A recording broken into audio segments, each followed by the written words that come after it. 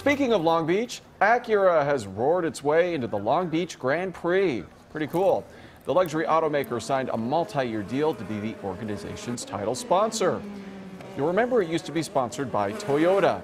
This year's event begins on April 12th and will be the 45th Grand Prix in Long Beach. Acura and its parent company Honda at their U.S. headquarters based in nearby Torrance.